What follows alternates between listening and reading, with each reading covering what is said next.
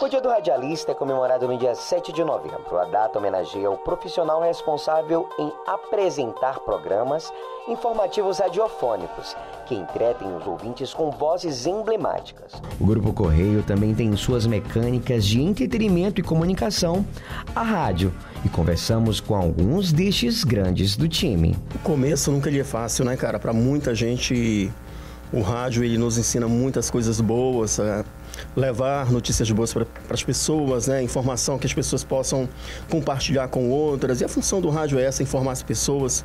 E no começo, você sabe, né? a gente tem que primeiro aprender colher muitas informações para se tornar no futuro um grande profissional. Eu acho que todo grande profissional no começo ele tem mais é que abrir o seu coração e a sua mente para os grandes aprendizados que virão para o futuro. No entanto, popularmente, os radialistas ainda celebram o dia 21 de setembro, que se refere à data da criação da lei fixada do salário base a estes profissionais em 1943, durante o governo de Getúlio Vargas. Nossa grade conta com componentes seletivos, como Sandro Campos, que segue fazendo história. Rapaz, é algo assim bem, bem bacana, né? Porque na realidade isso despertou em mim a partir do momento em que eu ah, participava ah, na igreja.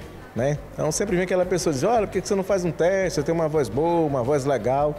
E com isso eu fui criando gosto por isso, né? Por se comunicar. E aí já são mais de 20 anos na comunicação e realmente é algo que a gente precisa todo dia estar se reinventando. E agora, né, com a chegada da internet, você precisa sempre estar associando as redes sociais, enfim.